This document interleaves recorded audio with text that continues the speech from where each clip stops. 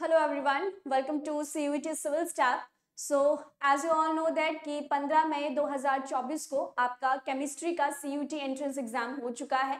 Shift one में आपका ये एग्ज़ाम कंडक्ट करवाया गया था, जहाँ पे केमिस्ट्री के 50 क्वेश्चंस आपके पास थे और उसमें से आपको 40 क्वेश्चंस अटेम्प्ट करने थे।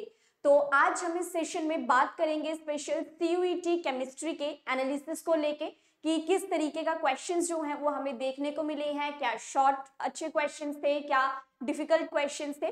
तो देखो Uh, सबसे पहले अगर मैं बताऊँ तो सीयूटी सिविल स्टैप के द्वारा आपके लिए free live batch course start किया गया था जिसमें आपके ऑलमोस्ट सभी सब्जेक्ट्स को कवर किया गया है और हमारा सिलेबस भी विद इन टाइम क्या हुआ था कंप्लीट हो गया था। क्लियर तो आज जो है स्पेशली अगर मैं अपनी केमिस्ट्री की बात करूँ तो जैसे कि लास्ट में हमने देखा था कि अल्कोहल्स फिनोल्स एंड ईथर्स हमने किए थे तो वहाँ से भी बहुत सारे क्वेश्चंस जो हैं वो देखने को मिले हैं। तो चलो करते हैं फटाफट से एनालिसिस की किस तरीके का एग्ज़ाम था। तो देखो सी यू टी केमिस्ट्री का जो एग्ज़ाम है 2024 का, वो शिफ्ट वन ए में किया गया था, जिसकी हम अभी क्या करेंगे शॉर्ट एनालिसिस के बारे में हम स्टडी करेंगे। ठीक है तो देखो सबसे पहले क्या हुआ, अगर मैं जनरली बात करूँ तो पास तीन सेक्शन थे जिसमें आपके पास था दैट इज़ योर ऑर्गेनिक उसके बाद था आपके पास मैं बात करूँगी फ़िज़िकल केमिस्ट्री की और उसके बाद मैं बात करूँगी आपके पास इनऑर्गेनिक केमिस्ट्री की, ठीक है? और मुझे ऐसा लगता है कि सबसे ज़्यादा क्वेश्चंस जो आपके पास आए थे, वो कहाँ से आए थे? दैट इज़ ऑर्गेनिक केमिस्ट्री से थे, जहाँ पे आपके पास टोटल 25 क्वेश्चंस यहाँ से थे। उसके बाद आपके पास 15 क्वेश्चंस जो है वो फ़िज़िकल केमिस्ट्री को लेके थे और 12 क्वेश्चंस जो है वो आपके पास कहाँ से थे? इनऑर्गेनिक केमिस्ट्री को लेके थे। ठीक है? और एक मेरे को बहुत शॉकिंग लगा कि हमारे पास पी ब्लॉक एलिमेंट जो कि इतना बड़ा चैप्टर है उसमें से आई कैन से जस्ट अगर मैं काउंट भी करूँ उसको तो सिर्फ़ एक क्वेश्चन वहाँ से था। ठीक है? सो so, इस तरीके से केमिस्ट्री हमेशा अनएक्सपेक्टेड रोल बिहेव करती है। तो कभी कभी क्वेश्चंस जिस चैप्टर से आने चाहिए उससे नहीं आते हैं। कभी कभी जो है वो सारे क्वेश्चंस एक ही चैप्टर से आ जाते हैं। तो ये एक्सेप्शन हमें हमेशा कॉम्पिटिटिव एग्ज़ाम में देखने को मिलती है। सो so, इस तरीके से जब केमिस्ट्री के तीन सेक्शंस को मैंने देखा so I found organic has 25 questions जो कि अच्छा खासा एक क्वेश्चंस का लेवल था। ठीक है? फ़िज़िकल एंड इनऑर्गेनिक सबसे पहले बात करूँ कि किस चैप्टर से कितने क्वेश्चंस थे? So you can check it from here aldehydes ketones and carboxylic acid से एट क्वेश्चंस आपके पास थे और मैंने उस टाइम भी क्लास में कहा था कि ये चैप्टर बहुत ज़्यादा इंपॉर्टेंट है। एल्कोहल फिनोल्स की बात करूँ तो वहाँ से पाँच क्वेश्चन आपके पास थे।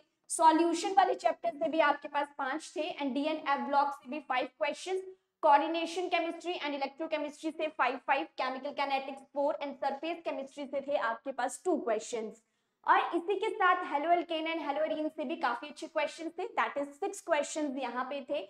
मेटलर्जी अगेन वन जैसे कि मैंने क्लास में भी कहा था कि यहाँ से सिर्फ़ एक या दो इससे ज़्यादा क्वेश्चंस आपके पास नहीं आते हैं.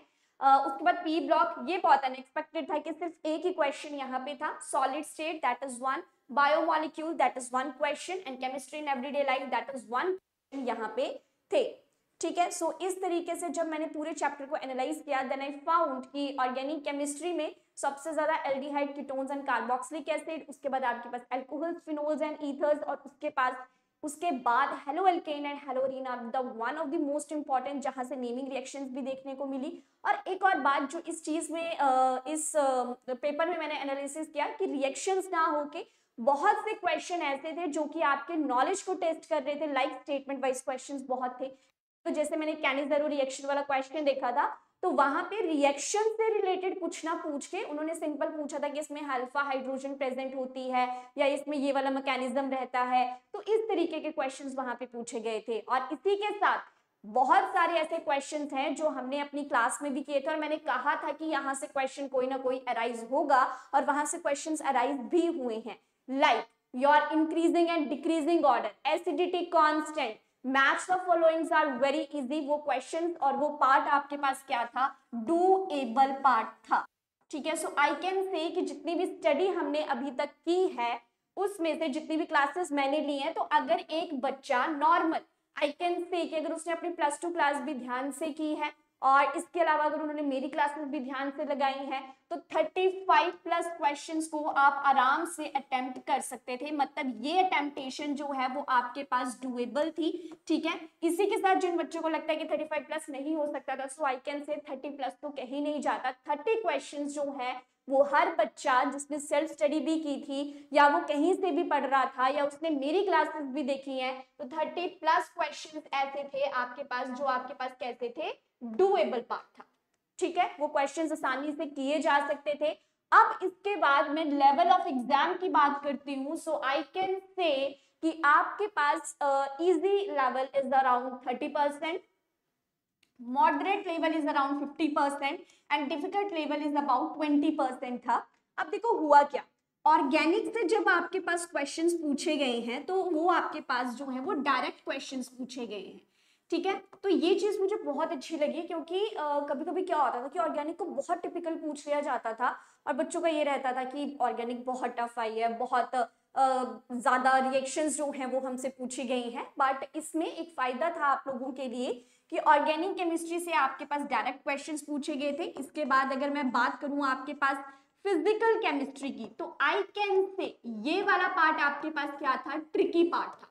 क्यों? Just due to the presence of the numericals क्योंकि यहाँ पे बहुत सारे न्यूमेरिकल्स थे बट बच्चों, हमारे पास था एक फ़ायदा, क्योंकि हमें 50 में से अटेम्प्ट करने थे सिर्फ़ 40 क्वेश्चन और अगर आप लोगों ने थोड़ा सा भी ध्यान से इस चीज़ को देखा होगा कि मुझे कौन सा क्वेश्चन स्किप करना है तो आई थिंक कि आप लोग नेगेटिव मार्किंग से थोड़ा सा बच जाएँगे ठीक है? सो so, न्यूमेरिकल्स ने थोड़ा सा ट्रिकी पार्ट प्ले किया है बट न्यूमेरिकल्स भी ज़्यादा नहीं थे अराउंड सिक्स टू सेवन थे। So that is why I can say that कि अगर उसमें से भी न्यूमेरिकल्स में से ऐसे थे कि आपके एक दो सॉल्व हो सकते थे या दो से तीन सॉल्व हो सकते थे मैक्सिमम बच्चों के जो कि एक मिनिमम क्राइटेरिया लेके मैं चलूँगी। तो इतने ज़्यादा भी नहीं थे इतने कम भी नहीं थे। तो फ़िज़िकल केमिस्ट्री ने एक अच्छा रोल प्ले किया है। इनऑर्गेनिक केमिस्ट्री को मैं यूँ कहूँगी कि ये सारा पार्ट आपके पास क्या था? डूएबल पार्ट था। अगर आपने कोऑर्डिनेशन केमिस्ट्री को थोड़ा सा अच्छे से पढ़ा होगा और कहीं ना कहीं ये पार्ट जो है वो हो सकता है कि आपको कई बच्चों को लेंथी भी लगा हो, ठीक है? तो ये था पेपर की एनालिसिस की कहाँ से कैसे क्वेश्चंस पूछे गए अब फर्दर जैसे बच्चे सीयूईटी के लिए प्रिपेयर करेंगे। सो उनको इस चीज़ को दिमाग में लेके चलना है कि ऑर्गेनिक केमिस्ट्री के तो चैप्टर्स को बिल्कुल पॉइंट टू पॉइंट करके जाना है। इनऑर्गेनिक केमिस्ट्री जो कहीं ना कहीं स्कोर बढ़ाने का काम करती है लेकिन अगर कॉन्सेप्ट गलत अप्लाई हो गया तो सबसे ज़्यादा डुबाती भी वही है। और फ़िज़िकल केमिस्ट्री को आप मॉडरेट लेवल पर लेके चले क्योंकि वहाँ पे न्यूमेरिकल्स हैं तो न्यूमेरिकल प्रैक्टिस करना बहुत ज़्यादा इंपॉर्टेंट है ठीक है? सो so, इस पेपर से तो मैंने ये ही एनालिसिस की है कि काफ़ी अच्छे न्यूमेरिकल्स क्वेश्चंस डायरेक्ट क्वेश्चंस और प्रीवियस ईयर के मुकाबले आई कैन से कि इस साल वाला जो आपका एग्ज़ाम हुआ है एक अच्छा खासा लेवल यहाँ पे इंक्रीज होता हुआ मुझे देखने को मिला है। Clear so this is all about the short analysis और इसी के साथ जैसे कि बच्चों का ना हमेशा एक क्वेश्चन होता है कि ma'am what about the cut off कितनी कट ऑफ़ जा सकती है? क्या हो सकता है? सो so, देखो कट ऑफ़ की अगर मैं बात करूँ तो मैं 150 को एज द मिनिमम लेके चलूँगी ठीक है? कि 150 तो आपके पास जो है वो होने ही चाहिए मार्क्स इसके अलावा 150 to 170 plus you can expect कि इतनी मेरिट आपके पास जा सकती है। देखो 120 से कम तो बिल्कुल भी नहीं है ठीक है? तो 150 को मैं एज एवरेज लेके चलूँगी क्योंकि काफ़ी ज़्यादा बच्चों का अच्छा एग्ज़ाम भी हुआ है। ठीक है, एक तो हमारे पास आई डोंट नो कि आप लोग अपना टाइम से कंप्लीट कर पाए हो या नहीं, लेकिन ये भी एक बहुत बड़ा आपके लिए था कि आपको टाइम से भी कंप्लीट करना था। उसके बाद आई कैन से कि ज़्यादा टाइम एक क्वेश्चन पे नहीं रुकना था, ठीक है तो एक वो भी बच्चों से कहीं ना कहीं मिस्टेक हुई है। फिर इस क्वेश्चन को जानना कि कौन सा क्वेश्चन अटेम्प्ट करना है या नहीं करना है, ये भी एक पार्ट था। So overall I can say कि आपके पास जो पेपर का लेवल था that is your what moderate to high level था। ठीक है, अगर मैं एक नॉर्मल एक वर्ड का यूज़ करूँ so I can say moderate to high level का एग्ज़ाम आपको यहाँ पे देखने को मिला है, ठीक है?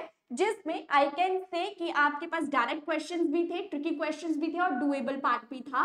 और इसी के साथ आई कैन से कि अगर मैं ट्रिकी पार्ट की बात करती हूँ कि कहाँ से ट्रिकी पार्ट आपके पास आया था तो जो आपके पास फ़िज़िकल केमिस्ट्री थी, उसने क्या किया कि जो आपके पास इलेक्ट्रोकेमिस्ट्री से रिलेटेड केस स्टडी वाले क्वेश्चन थे, वो आपके पास क्या थे? है तो थे तो वो डुएबल पार्ट बट एक्चुअल में वहाँ पे थोड़ा सा आपको दिमाग अप्लाई करना पड़ना था, क्योंकि वहाँ पे थोड़ा सा बच्चा सोच सकता था कि किस तरीके से इस क्वेश्चन को सॉल्व किया जाएगा। ठीक है? सो आई कैन से कि जो इलेक्ट्रोकेमिस्ट्री वाला चैप्टर था, उसने थोड़ा सा ट्रिकी रोल प्ले किया और उसके बाद न्यूमेरिकल्स न्यूमेरिकल्स पर वर्क करना शुरू कर दो। अगर कुछ बच्चे अभी भी और एग्ज़ाम देंगे तो न्यूमेरिकल्स को सॉल्व करना बहुत ज़्यादा इंपॉर्टेंट है। केमिस्ट्री में जब भी क्वेश्चंस आते हैं डेफिनेशन बेस्ड भी आते हैं एप्लीकेशन बेस्ड भी आते हैं न्यूमेरिकल बेस्ड भी आते हैं देन आपका कोई कॉन्सेप्चुअल बेस्ड भी रहता है। जैसे कि स्पेशली ऑर्गेनिक केमिस्ट्री में आपने देखा होगा कि डायरेक्ट जो है वो P K A acidity constant की वैल्यूज़ के ऊपर क्वेश्चन पूछे गए थे। और इसके अलावा सबसे अच्छा पार्ट जो इस पेपर में था, वो थे आपके पास मैच था फॉलोइंग जिसमें अगर आप एक, दो को भी अगर पहचान पा रहे थे तो वो पार्ट क्या हो रहा था? हमारे लिए इजीली सॉल्वेबल था। ठीक है? So this is all about the analysis अभी तक जैसे मैं क्वेश्चन की बात करूँगी यहाँ पे, कि हमारे पास ना एक क्वेश्चन आया था that which among following is not an analgesic कि इसमें से कौन सा एनर्जेटिक नहीं है? तो देखो, मैंने जब क्लास में करवाया था मैंने उस टाइम भी कहा था कि आपके पास examples are very very important तो जैसे हम एप्लीकेशन बेस्ड क्वेश्चंस को करते हैं तो वहाँ पे एग्जाम्पल्स आपके पास सबसे ज़्यादा इंपॉर्टेंट होते हैं। अभी जैसे मैं यहाँ पे ऑप्शंस की बात करूँ you have morphine codeine heroin ranitidine ये सभी चीज़ें प्रेजेंट थी। और यहाँ पे अगर मैं फ़र्स्ट थ्री ऑप्शंस की बात करूँ तो वो सारे के सारे क्या है? नेटकोटिक एनर्जेटिक ड्रग्स हैं। ठीक है नॉट एन के बारे में पूछा था so that is your ranitidine क्योंकि रेंटिडीन जो है वो एक एंटेसिड है। तो वो एक एनर्जेटिक की तरह बिहेव नहीं करता है। Clear so this is all about this question और इसी के साथ एक और अगर मैं क्वेश्चन की बात करूँ तो जैसे ये देखिए डी ब्लॉक एलिमेंट से ये आपके पास क्वेश्चन था। और देखो, मैंने जब भी आपको डी ब्लॉक एलिमेंट करवाया है ना, मैंने आपको हमेशा एक बात कही है कि यहाँ पे unpaired electrons electronic configuration colours catalyst के ऊपर 110 परसेंट श्योर क्वेश्चन देखने को मिलते हैं। और आपके पास क्वेश्चंस आए भी हैं। इसके बाद जब हम आपके पेपर को सॉल्व करेंगे आप तब भी देखेंगे कि मैंने मैं वहाँ पे बताऊँगी कि मैंने कैसे कहा था कि यहाँ से क्वेश्चन आ सकते हैं।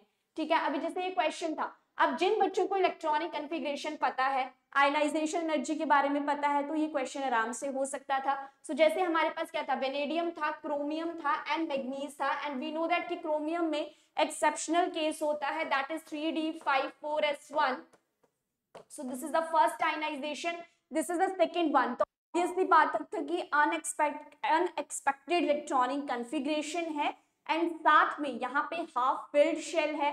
So that is the more stable सो यहाँ पे जो आपके पास आंसर आना था that is your option three आना था. क्रोमियम मैग्नीज और वेनेडियम इस तरीके से आपके पास आंसर वहाँ पे देखने को मिल सकता था. क्लियर और इसी के साथ अभी आप यहाँ से भी देख लीजिए कि कलर के ऊपर भी क्वेश्चन आ रखा था कि किस तरीके से एक्वा सॉल्यूशन में इन ऑप्शंस में से सेम कलर आपको देखने को मिल सकता है। सो so, मैंने कई बार ये चीज़ बताई है कि जब आपके पास अनपेयर इलेक्ट्रॉन्स क्या हो जाते हैं सेम हो जाते हैं तो आपके पास वहाँ पे क्या होता है सेम कलर की फॉर्मेशन आपको देखने को मिलती है। सो दैट इज़ वाई यहाँ पे ऑप्शन थ्री आपके पास सही था क्योंकि यहाँ पे सेम अनपेड इलेक्ट्रॉन्स आपके पास एग्जिस्ट कर रहे हैं। ठीक है? सो आपने ये चीज़ें देखी कि इनऑर्गेनिक केमिस्ट्री में क्या था कि आपको कॉन्सेप्ट का पता होना बहुत ज़्यादा ज़रूरी है। ठीक है? सो ओवरऑल अगर मैं एक बार फिर से एनालिसिस की बात करूँ so I can say paper level is moderate to high level previous year से अच्छा खासा लेवल इंक्रीज होता हुआ यहाँ पे देखने को मिला है। ठीक है? ऑर्गेनिक 25 क्वेश्चंस फ़िज़िकल 15 क्वेश्चंस और इनऑर्गेनिक 12 क्वेश्चंस आर देयर इसके अलावा फ़िज़िकल केमिस्ट्री ने थोड़ा सा ट्रिकी पार्ट प्ले किया है due to the numerical and the electrochemistry case study question so ये बहुत इंपॉर्टेंट है कि जब भी आप किसी एग्ज़ाम के लिए जाएँ तो केस स्टडी वाले क्वेश्चन ज़रूर करके जाने हैं। ठीक है केस स्टडी एक्चुअल में क्या है कि जो चीज़ें हमने पढ़ी हैं, उन्हीं के बेसिस पे होता है। ठीक है मोस्ट प्रोबेबली कट ऑफ़ की अगर मैं बात करूँ तो 150 टू 175 प्लस आप लेके चल सकते हैं, क्योंकि इतना मार्क्स तो आपको वहाँ पे देखने को मिलेगा ही मिलेगा। 50 में से 40 क्वेश्चंस आपको अटेम्प्ट करने थे एंड आई होप कि आपने बहुत सोच समझ के 10 क्वेश्चंस को स्किप किया होगा। Clear so this is all about the analysis of the chemistry जो भी आपका सीयूईटी में एग्ज़ाम हुआ है आई होप कि आप लोगों का एग्ज़ाम बहुत अच्छा हुआ होगा। And this is all about the short analysis of your of your exam thank you so much for this session I hope कि जितनी भी चीज़ें हमने यहाँ पे डिस्कस की हैं, वो आपको समझ में आ गया होगा. Clear so this is all about for today session thank you so much